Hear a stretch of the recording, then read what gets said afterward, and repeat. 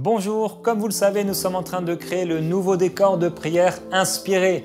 Et pendant que nous sommes en train de finaliser les derniers détails, eh bien, je me suis dit, je vais continuer quand même de vous encourager, de vous bénir à travers cette émission Prière inspirée. Et j'ai fait installer le décor dans le sous-sol de ma maison. Donc pendant plusieurs jours, je vais être avec vous. On va prier ensemble. Je vais continuer de partager la parole à travers, euh, depuis ma maison et depuis le sous-sol de ma maison. Et voilà. Donc ensemble, on va se retrouver dans Prière inspirée tous les jours. Et pendant plusieurs jours, depuis le sous-sol de ma maison, on continue de prier et d'être encouragé par la parole de Dieu. On se retrouve donc dans Prière inspirée.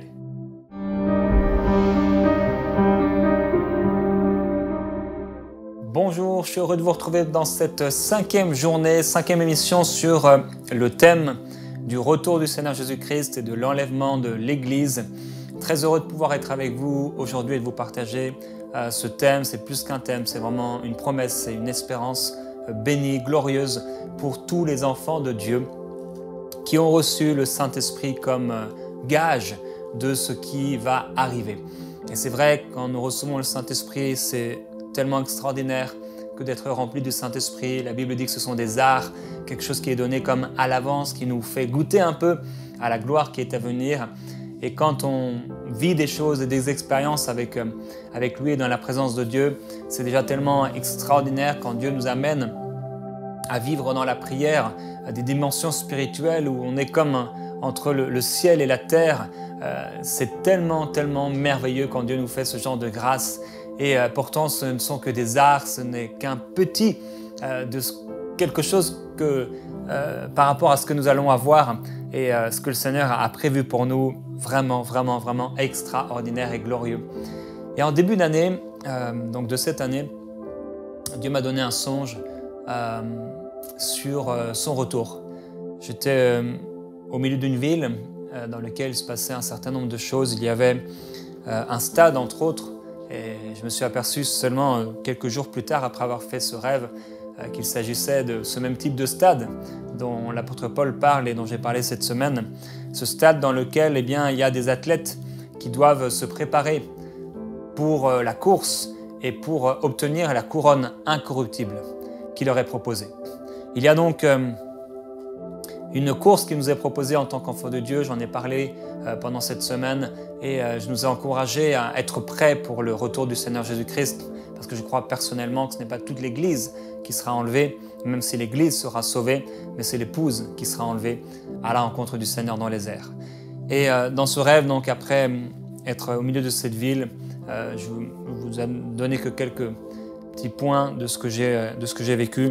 Mais à la fin de ce rêve, je descendais donc une grande une grande descente, une grande pente de cette ville, et je me suis retrouvé en contrebas, tout en bas, et il y avait un, mur sur lequel étaient indiquées certaines choses, et ça m'a amené encore à vraiment euh, à la fin de cette ville, donc euh, aux portes de la ville, si on veut, euh, au, bout de la ville. Et il y avait la mer qui était là et un grand mur, comme on peut, comme on peut voir des murs devant certaines, certaines plages ou certaines mers. C'était comme une plage qui était là. Et sur ce mur étaient indiquées certains, certaines écritures et une référence d'un verset biblique dans le livre de Matthieu. Et ce verset biblique, je vais, je vais le lire pour vous. Donc dans Matthieu,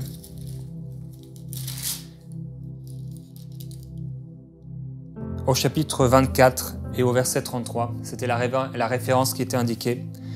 De même, vous aussi, quand vous verrez tout cela, sachez que le Fils de l'homme est proche à la porte. Et je me suis réveillé donc avec cette référence que je ne connaissais pas, et avec euh, cette référence aussi dans, ma bouche en même temps. Et j'ai été découvrir euh, ce passage. De même, vous aussi, quand vous verrez tout cela, sachez que le Fils de l'homme est proche à la porte. Et j'étais euh, au milieu d'une conférence que je faisais pour une église locale où j'étais justement en train de prêcher sur le retour du Seigneur. Et, mais moi, j'avais été dans un autre évangile, l'évangile de Luc, tout le long. Je n'avais pas du tout, du tout lu ces jours-là Matthieu, et surtout pas Matthieu chapitre 24, et surtout pas le verset 33. Et c'était exactement le même passage euh, que j'étais en train d'étudier et de prêcher dans l'évangile de Luc. Et hum, une chose est certaine en tout cas, qu'il y ait un rêve ou qu'il n'y ait pas de rêve, c'est que le Seigneur nous promet dans sa parole qu'il va revenir.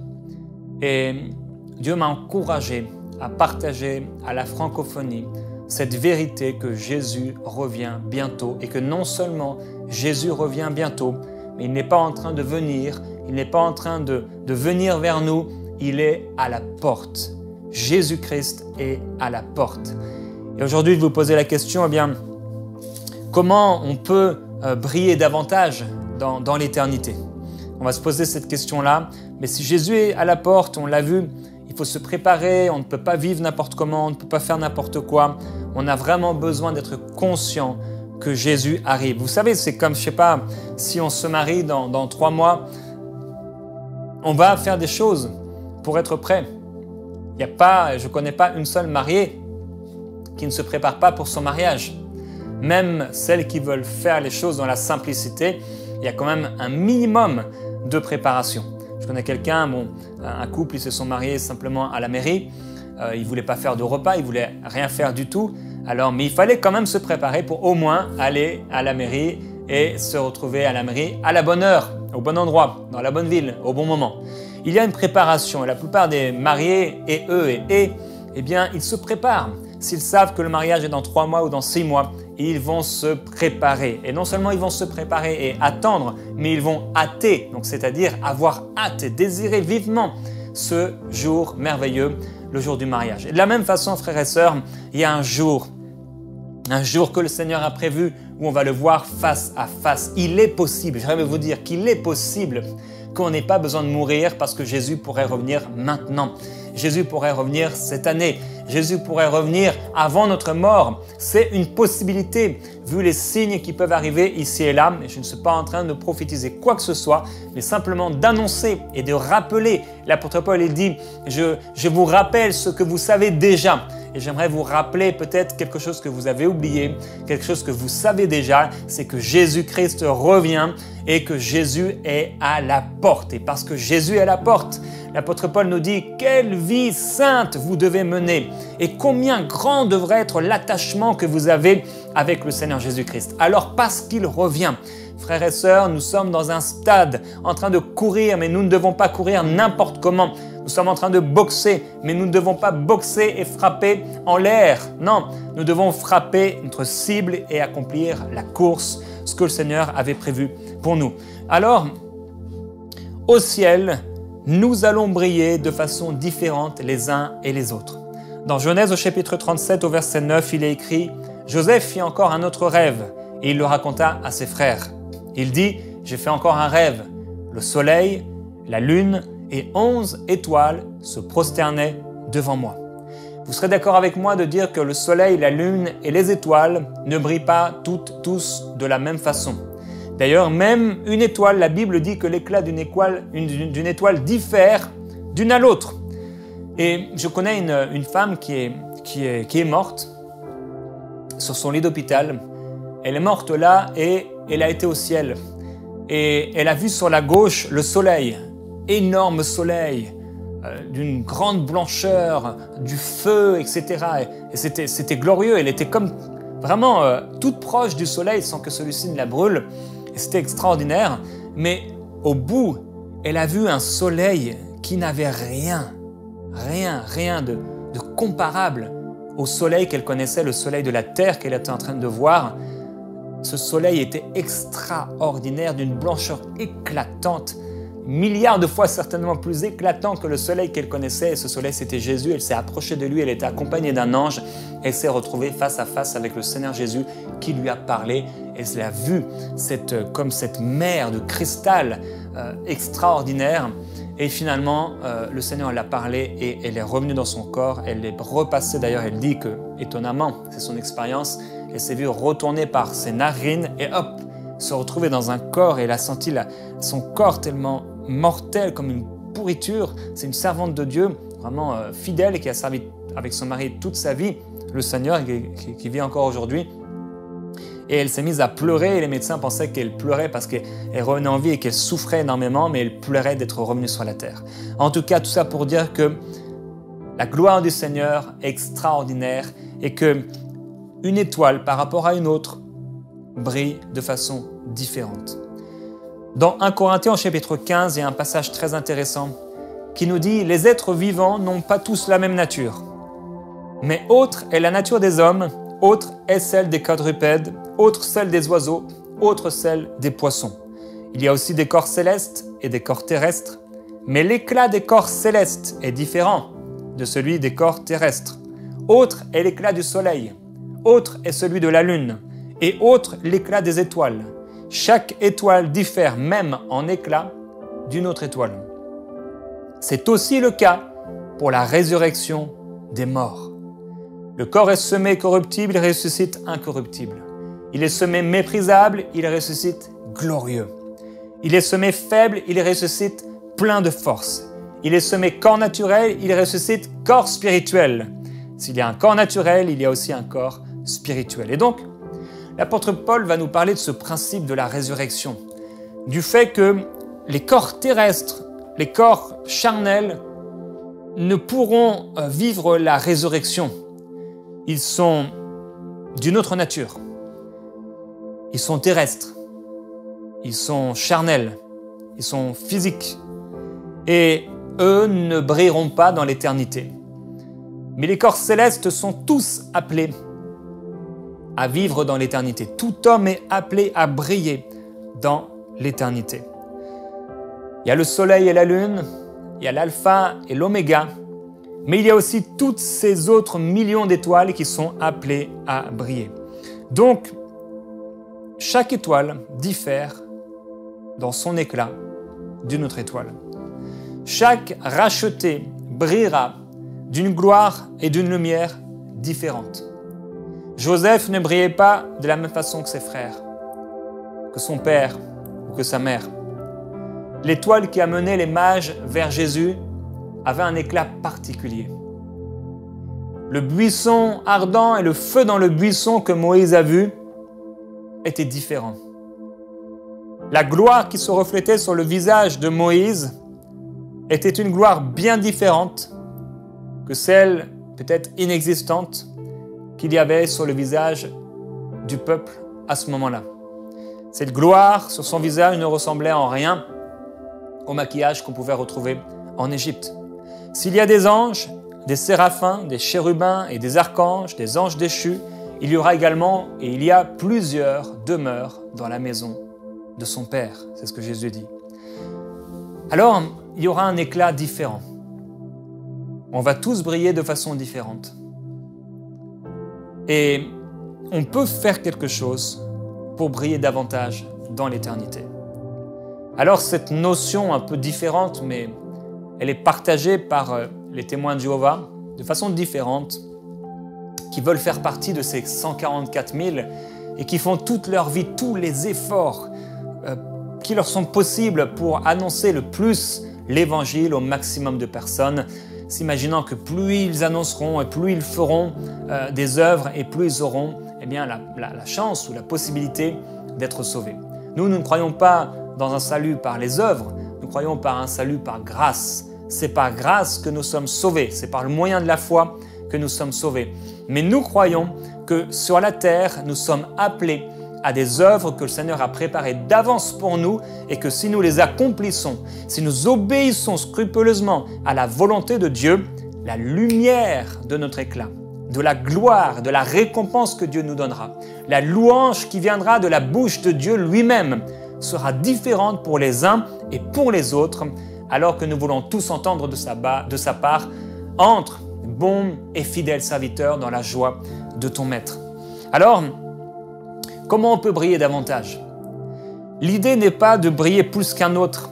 Et l'idée, ce n'est pas une compétition entre nous. Lorsqu'on parle de la différence de gloire entre nous, aucun esprit de compétition ne devrait exister entre nous. Chacun aura à rendre compte pour lui-même. Maintenant, on peut réussir les, sept points dont on a parlé cette semaine pour être prêt. Ça veut dire mener une vie sainte, être attaché à Dieu, attendre le jour de sa venue, hâter le jour de sa venue, s'appliquer à être trouvé pur et irréprochable dans la paix, prendre conscience et faire attention de ne pas se laisser entraîner par euh, les péchés des hommes, progresser dans la grâce, euh, dans la connaissance de Jésus-Christ. Et on peut faire toutes ces choses, ça veut dire en gros euh, mener une bonne vie, sainte, etc., avoir une communion avec Dieu, ne pas tomber dans le, dans le, péché. On peut vivre ces choses en restant isolé dans un couvent, dans une grotte. Et c'est pas ça que Dieu nous appelle à vivre. Et c'est pas ça que Dieu nous appelle à faire. Non, il a préparé des œuvres bonnes pour nous. Et si nous voulons briller, il faut obéir aux instructions divines. il faut aller plus loin que simplement le fait de ne pas pécher, le fait d'être un bon chrétien et le fait d'être gentil avec tout le monde. Je connais des gens qui sont très gentils, des enfants de Dieu, des chrétiens même. Vraiment, ils sont très gentils, ils sont super. Et je prie, oh Dieu, qu'il puisse accomplir ta volonté, qu'il puisse obéir à tes instructions. On ne veut pas simplement être sauvé. On veut, premièrement, rencontrer le Seigneur et le voir et l'aimer mais on veut pouvoir briller dans l'éternité. Il faut qu'on y aspire, obéir à ses instructions pour recevoir cette couronne indestructible, cette couronne qu'on ne peut pas salir, qu'on ne peut pas souiller, cette couronne que Dieu a réservée pour ceux qui l'aiment et qui marchent quotidiennement avec lui en voulant obéir, à ses instructions. Jésus dit dans Marc au chapitre 13 au verset 33, Prenez garde, veillez et priez, car vous ne savez quand ce sera le moment. Il en sera comme d'un homme qui part en voyage et qui laisse sa maison, donne pouvoir à ses serviteurs, à chacun sa tâche et commande au portier de veiller. Veillez donc, car vous ne savez quand viendra le maître de la maison, le soir, au milieu de la nuit, au chant du coq, ou le matin. Craignez qu'il n'arrive à l'improviste et ne vous trouve endormi. Ce que je vous dis, je le dis à tous, veillez. Jésus nous encourage à veiller et à nous tenir dans la position dans laquelle il a voulu qu'on soit. Frères et sœurs, s'il nous a appelés à être à la porte et à veiller, on doit se trouver à la porte et être en train de veiller. Si nous devons être dans le jardin et en train de, de, de, de faire quelque chose, de nous occuper de quelque chose dans le jardin, on doit être dans le jardin en train de s'occuper de quelque chose. S'il nous a établi quelque part dans une position, on doit se retrouver dans cette position. S'il nous a demandé de faire quoi que ce soit, on doit être en train de faire quoi que ce soit. On doit être actif dans le royaume de Dieu, à chacun sa tâche, à chacun ses talents. Frères et sœurs, s'il nous a donné ses talents, des talents, ces talents ne doivent pas se trouver en terre, on ne doit pas les enterrer. Il est temps de savoir ce que Dieu nous a demandé de faire et de chercher sérieusement.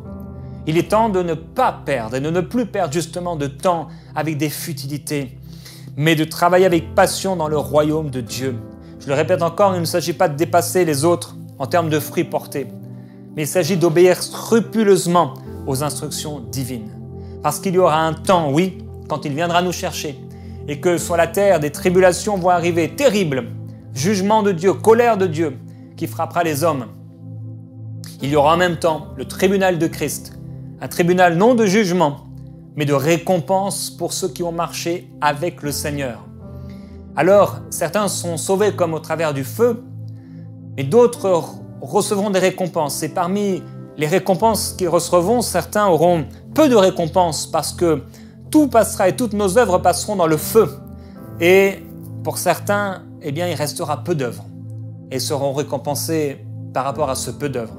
Mais pour d'autres, dont les fondations étaient solides, dont les motivations étaient pures et qui ont travaillé pour le Seigneur, je ne parle pas seulement des prédicateurs, comme si Dieu avait choisi seulement euh, des prédicateurs pour euh, recevoir des récompenses. Non, mais de chaque enfant de Dieu, de chaque enfant de Dieu, de chaque disciple de Jésus-Christ qui a pris au sérieux sa parole et les instructions divines. Alors oui, pendant que la tribulation sera sur la terre, ce sera la récompense et la fête au ciel où nous serons présentés et nous nous présenterons un après l'autre devant le Seigneur et nous recevrons de lui la louange que nous méritons. Oh, c'est extraordinaire que ce jour où le Seigneur va nous récompenser. Il va nous récompenser non pas simplement du fait que nous sommes chrétiens, parce que ça c'est lui qui a tout fait. Il va nous récompenser à partir du moment où il nous a sauvés, qu'est-ce que nous avons fait pour lui selon ce qu'il nous avait demandé de faire? Il ne s'agit pas seulement de donner de l'argent aux pauvres, de faire telle et telle chose, mais de faire ce qu'il nous a demandé de faire, à chacun sa tâche. Alors il y aura ce temps où on va prendre connaissance de nos récompenses au tribunal de Christ. Comme tous meurent en Adam, la Bible dit, de même aussi tous revivront en Christ, mais chacun a son propre rang. Il y aura des rangs différents. Certains régneront. Ça va être extraordinaire. Et sans parler du millénium, dans lequel certains recevront euh, le, règne ou la domination ou l'autorité sur euh, certaines régions, etc. Pendant mille ans, nous serons avec le Seigneur. Fabuleux et extraordinaire promesse de Dieu que nous avons en lui. Il faut se préparer. Parce que nous savons ces choses, il faut qu'on fasse attention. Parce que nous savons que le Seigneur revient. Parce que nous savons que ce n'est pas un mensonge. Parce que nous savons que c'est vrai il est important, frères et sœurs, d'être prêt. Et non seulement d'être prêt et d'être préparé, mais il est important de lui obéir et d'accomplir sa volonté. Alors nous avons parlé du retour du Seigneur et de ce passage qui nous dit quand vous verrez tous ces événements, sachez que le Fils de l'homme est proche comme aux portes de la ville. Et je crois vraiment que le Seigneur Jésus-Christ est là, à la porte de la ville. Comme il m'a emmené dans ce songe aux portes de cette ville, que je ne connaissais pas, sur lequel était inscrit sur le mur de cette ville, à l'extrémité, Matthieu 24, 33. De même, quand vous verrez tous ces événements, sachez que le Fils de l'homme est proche, aux portes de la ville. Je crois, frères et sœurs, qu'il est proche et qu'il est à la porte. Et c'est pourquoi la Bible dit, prenez garde à vous-même, de crainte que vos cœurs ne s'apesantissent par les excès du manger et du boire et par les soucis de la vie, et que ce jour ne vienne sur vous à l'improviste. En effet, dans les jours précédant le déluge, les hommes mangeaient, buvaient, se mariaient, mariaient leurs enfants jusqu'au jour où Noé est entré dans l'arche. L'époux arrive et il faut qu'on aille à sa rencontre. Il faut qu'on soit prêt. Il faut absolument que je fasse ce que Dieu m'a demandé de faire. Le Seigneur dit, restez donc en éveil, priez en tout temps afin d'avoir la force ou encore d'être trouvé digne d'échapper à tous ces événements à venir et de vous présenter debout devant le Fils de l'homme. Le Seigneur dit, quand ces choses commenceront à arriver, redressez-vous, levez vos têtes, parce que votre délivrance approche. Alors il dit, quel est donc le serviteur fidèle et prudent? Que son maître a établi sur ses gens pour leur donner la nourriture au temps convenable Heureux ce serviteur que son maître à son arrivée trouvera faisant ainsi pour celui qui se met à battre ses compagnons se disant que oh, le maître tarde à venir, celui qui ne fait pas attention aux priorités de Dieu, malheur à lui. Pourquoi nous voulons prier aujourd'hui et remercier le Seigneur Jésus-Christ? Parce que il vient nous chercher et nous pouvons lui demander, Saint-Esprit, Seigneur, vraiment ouvre mes yeux et permets-moi de connaître ta volonté. Aide-moi à discerner comment briller davantage dans l'éternité. Aide-moi à ne pas me perdre des futilités, à être ce soldat affûté, cet athlète qui s'est préparé. Aide-moi à ne pas perdre mon temps dans des futilités, mais à être vraiment efficace dans ton royaume. Père, je te remercie pour ta parole cette semaine, tu nous encourages à lever les yeux. Tu nous encourages à fixer nos yeux sur cette promesse du retour du Seigneur. C'est quelque chose qui a été annoncé. Et nous voulons être alertes vraiment par rapport à ton retour. Je prie, Père céleste, pour ceux qui non pas ceux qui se sont préparés et ceux qui sont en train d'accomplir ta volonté, mais particulièrement pour ceux qui sont en train de passer à côté, pour ceux qui passent à côté, pour ceux qui vivent dans des futilités, pour ceux qui sont en train de perdre leur vie avec des choses inutiles. Merveilleux Jésus-Christ s'il te plaît. Viens les toucher où ils se trouvent. S'il te plaît, Seigneur, donne-leur vraiment des yeux pour voir et des oreilles pour entendre. Donne-leur un cœur pour comprendre. Qu'aujourd'hui, Père, à cause de cette parole, que cette parole et que ces paroles, que ces promesses, que ces paroles, Seigneur, viennent profondément comme une encre solide dans les cœurs s'installer, comme une espérance solide qui empêchera tes enfants de pécher, qui empêchera tes enfants de faire n'importe quoi, qui empêchera, Seigneur, l'un et l'autre de tomber, de dériver, qui, Seigneur, permettra et fortifiera ceux qui veulent marcher avec toi, qui les fortifiera à être saints, à rester dignes, à demeurer dans la sainteté, à obéir à tes promesses, à obéir à ta volonté, à obéir, à rechercher, Seigneur, ce que tu veux accomplir, ce que tu veux faire, Seigneur, à travers nous. Père, je prie pour l'Église, particulièrement l'Église francophone. Je te demande, s'il te plaît, que ce message de retour du Seigneur puisse être annoncé de plus en plus, puisse être prêché, afin qu'on voit une Église, non pas une Église faible, une Église tiède, une Église qui pense être riche alors qu'elle est pauvre, une Église qui...